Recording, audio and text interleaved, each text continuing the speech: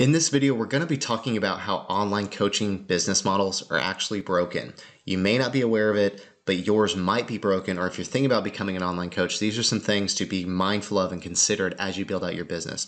Number one is always understand this is that you're constantly having to quote chase the next client, right? Because if you have a coaching program, your programs probably only last so long. And so after they've gone through that cycle, you're going to have to replace them. So as you serve customers and clients, you lose them and you've got to serve the next one and the next one. And so you kind of can get trapped in a hamster wheel effect. Um, now, don't get me wrong, I understand by serving customers one on one, that is your highest ticket option, that's your highest ticket feature, i.e., revenue stream but you're always replacing it. So it, you're always having to replenish it.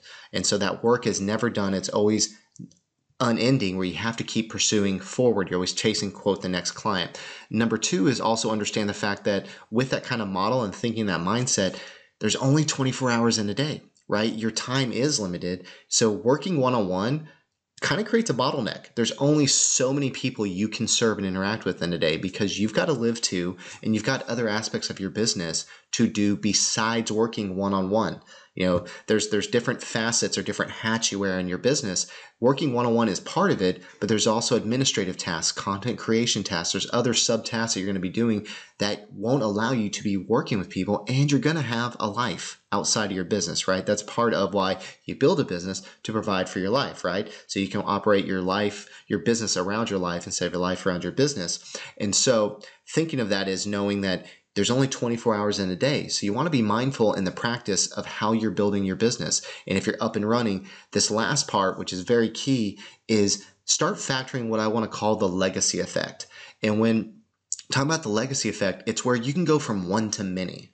Okay. And ways of doing that is through using like a group coaching model, or maybe have a course or program where instead of being one on one, you might have that available at a higher tier. You have one to many where people can go through a p- planned path right but you can do weekly coaching as a group setting so you your time is now being multiplied across an unlimited number where one to many doesn't take much more time right? It's just committing the time to serve them.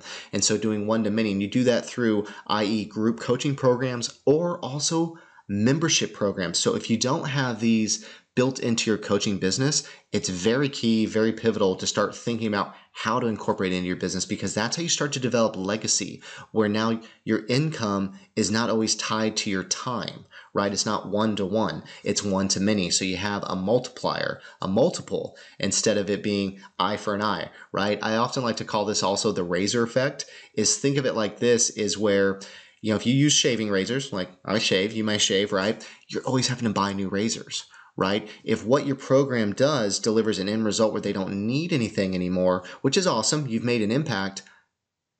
But what, now, where's the next thing? Where's the next future revenue? Whereas if you have an ongoing membership program where maybe you're adding more content over time, now you have a quote university, an academy, the razor effect can kick in and you can start getting micropayments every single month for them to maintain access to that. So you still have your one to one high tier, but now you have your one to many in group coaching and your one to many through membership program, i.e., Razor Effect. So you can start to build legacy because as your membership grows, right, your, your time multiplier grows as well. And that's exponential because it doesn't take you extra time to serve one to many. It doesn't take you extra time to serve membership people inside of your membership programs. So I'm kind of curious, do you currently as a coach or if you're thinking of a coach, do you have a legacy model built into your coaching business right now? And if not, we can help you with that. That is what we do at Movement Formula. We have an all-in-one automation scale system solution for coaches that help them with their membership programs, that help them build that legacy model with websites, with funnels and membership areas, plus so much more. And you can check it out at movementformula.com.